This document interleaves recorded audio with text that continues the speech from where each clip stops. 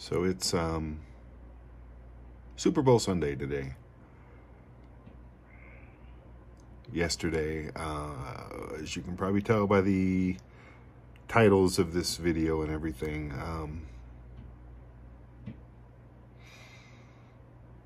mm, try to get ready for this, trying to get prepared. Um, again, I told myself when I started doing this show that, okay, there'll be no crying, there'll be no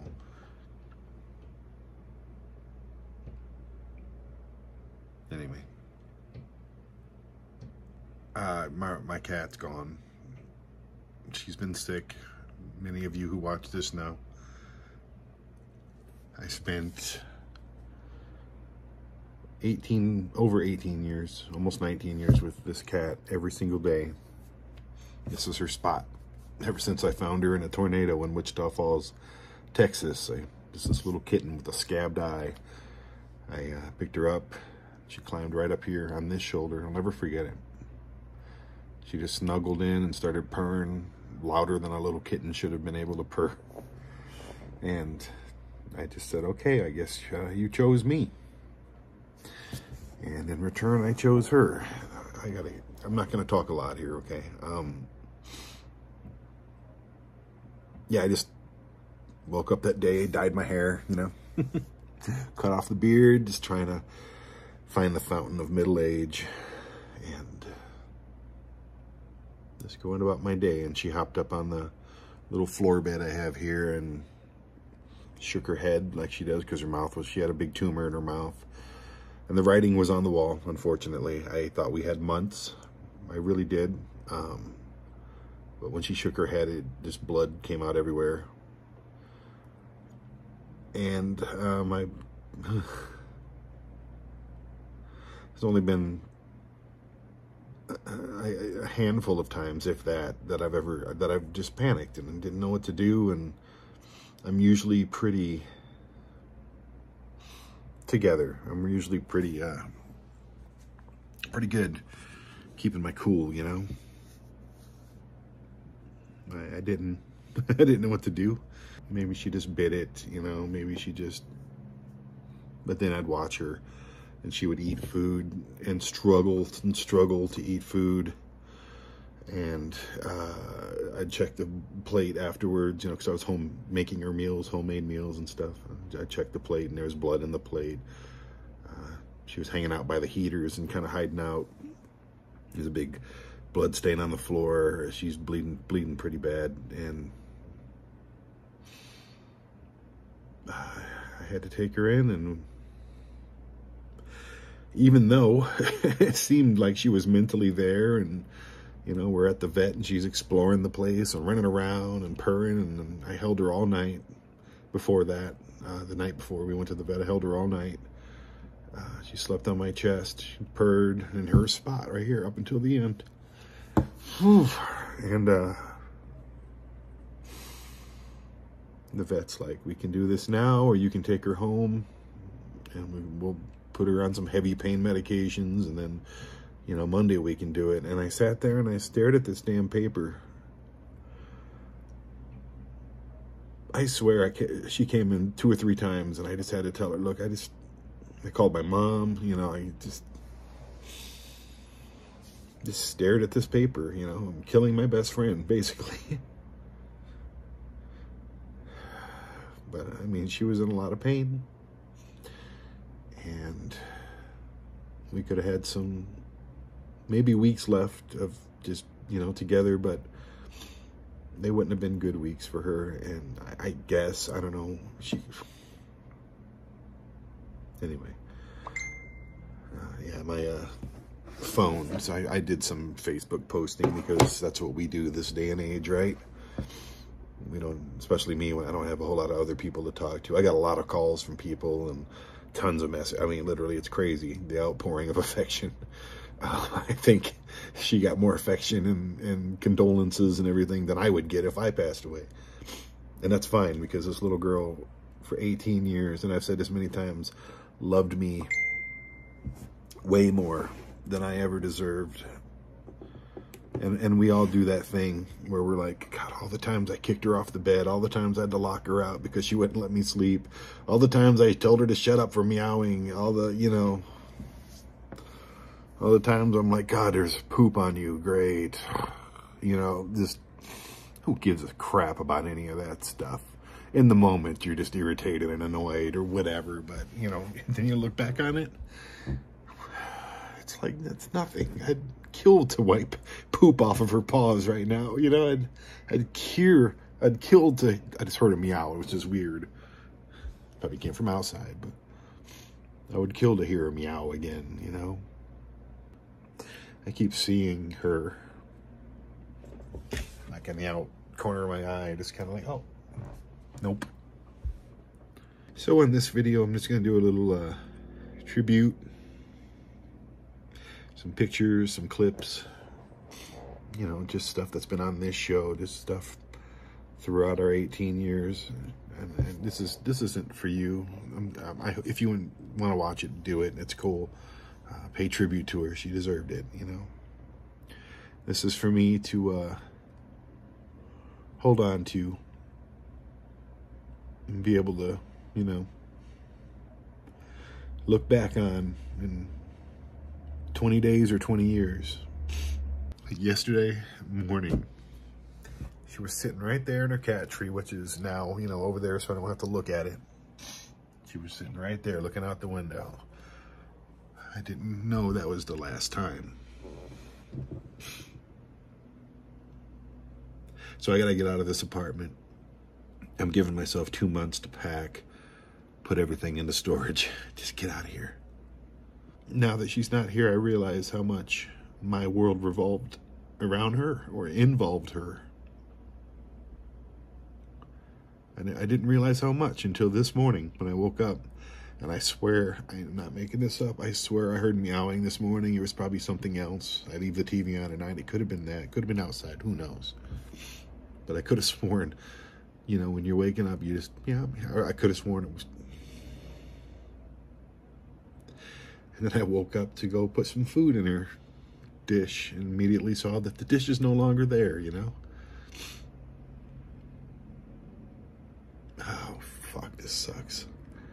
This really sucks, but I know I've been talking for 11 minutes now, so this one's for you, baby girl. So I'm, uh, how quickly things can change, right? Um,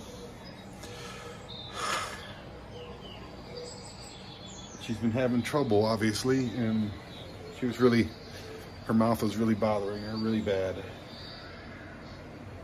And she just crawled up on me like she always does and just bled Hi, Angel. See your mouth. Oh, man.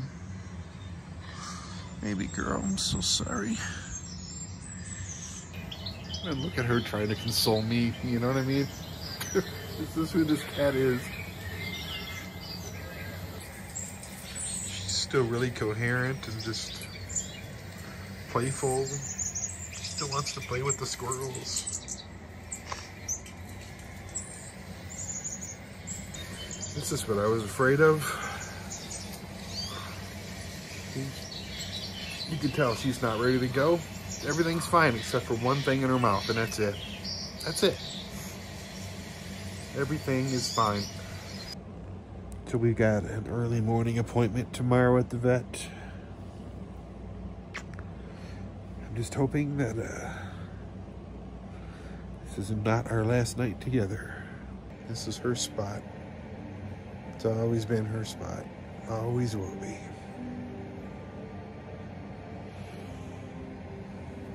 She's purring hard enough right now, so just gotta keep her purring for through the night and just see what happens tomorrow. Who's that baby girl? Who's that? Is that the most beautiful girl in the world? Poor thing. So as you can tell by my face, I have not slept. I am stayed up all night with Marci Cat. She's uh She ate a lot last night, a couple hours ago, I should say. There was a lot of blood in the dish, though. Um, so she's still bleeding out pretty bad in the mouth. Sweet. Did you get some food? Mouth is bothering you pretty bad?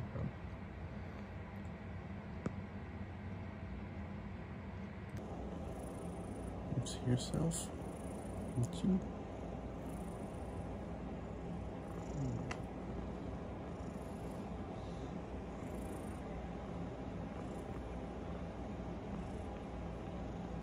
Never ceases to amaze me. Just walked right in there.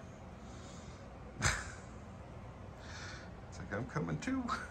I wish you didn't have to. She literally just walked right in there. Fuck. It's sunny outside, baby girl.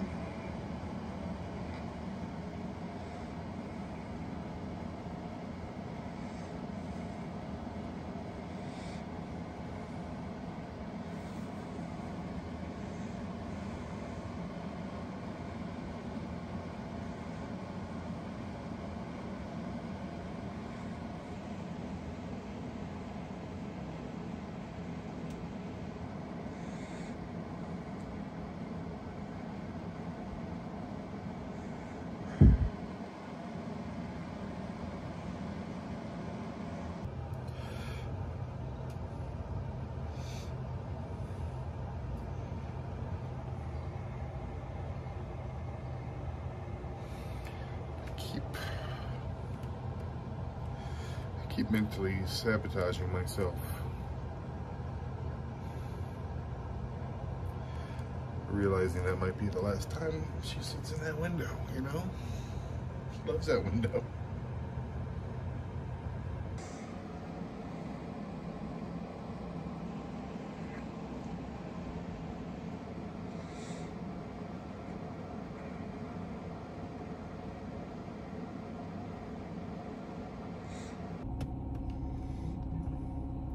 This will be the longest damn drive I've ever done in my entire freaking life.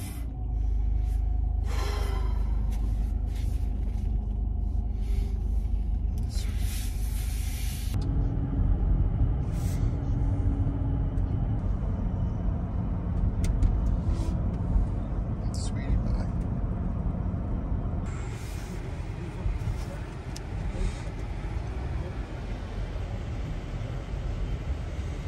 Not looking forward to this, are we? I'm sure you understand why I'm not going to be filming at all. Uh, just gonna take her in there and hopefully we can hopefully we can go home together. Don't worry, tell him. It's gonna be okay, baby.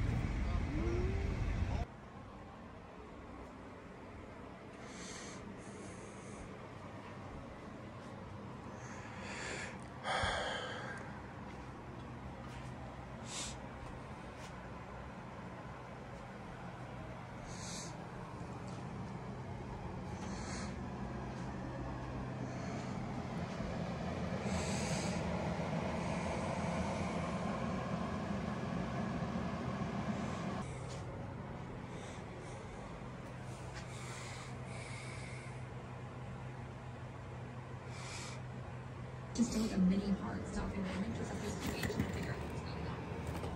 I think I want to keep that down there for a little bit. Here's our food dish from last night.